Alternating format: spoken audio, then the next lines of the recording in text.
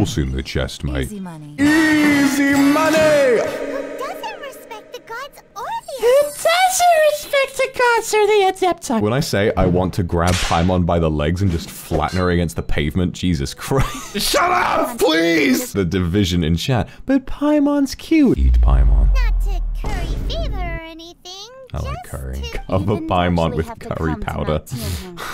that tune. The right way to get rid of Paimon is to dunk her in egg, flour, and then throw her in a pot of oil.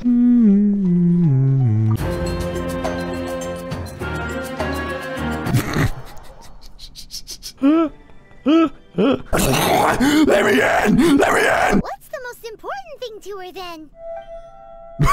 Why, Mora, of course.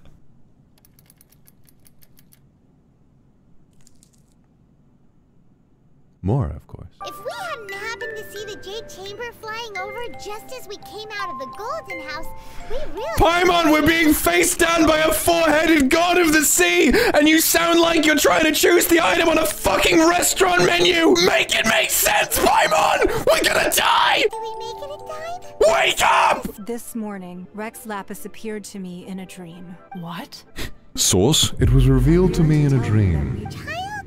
Childe wanted to unleash the god. I'm just imagining that he's like a Game of Thrones character, and when he's about to ferociously pull his dick out, he says he's about to unleash the god. He starts trying to rile him up, and he's like, You don't want to wake up the dragon. He gives off Discord mod vibes. Not now, kitten. Daddy's gaming. Kitten, get in VC right now. You're making Daddy very angry. ガ Yeah, I forgot how high pitched Paimon is in JP.